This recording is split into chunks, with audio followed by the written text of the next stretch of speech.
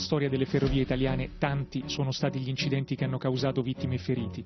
Ripercorriamo i disastri ferroviari degli ultimi vent'anni. 12 gennaio 1997. L'elettrotreno ETR 460 numero 29 in servizio da Milano a Roma deraglia sulla curva all'ingresso della stazione di Piacenza perché andava troppo veloce. Muoiono 8 persone e 30 restano ferite. 7 gennaio 2005. Località Bolognina, Emilia Romagna. C'è molta nebbia e la visibilità in alcuni tratti non supera i 50 metri.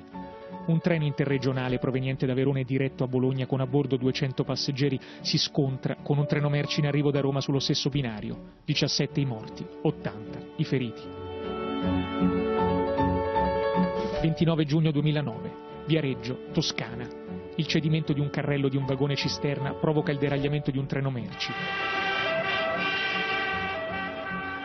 Da una cisterna danneggiata fuoriesce GPL. Mentre il treno si trova in stazione, il vagone esplode. Il bilancio della tragedia è terribile. 33 morti. 12 luglio 2016. Puglia. Tratto ferroviario tra Andri e Corato. Due treni della società ferrotranviaria si scontrano sulla linea che collega Bari a Barletta. 23 morti, 57 feriti.